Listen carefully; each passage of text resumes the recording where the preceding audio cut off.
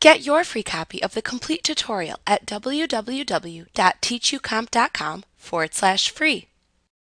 The Smart Brush tools allow you to apply a wide range of effects selectively by brushing across your image. There are 50 preset effects from which to choose for adjusting color and tone, creating effects, and touching up details. These effects include lipstick, suntan, cloud contrast, infrared, impressionist, several color tints, film negative, fluorescent glow, and bright eyes, for example.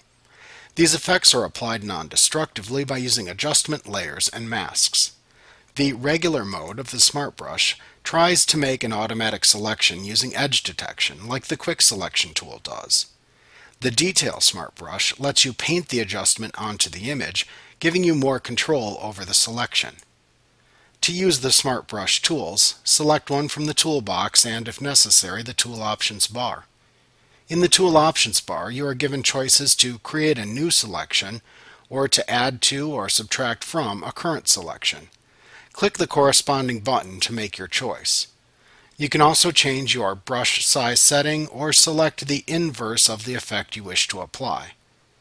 Use the Presets drop-down to then select the effect that you wish to apply. Then click and drag with your brush to make your selection.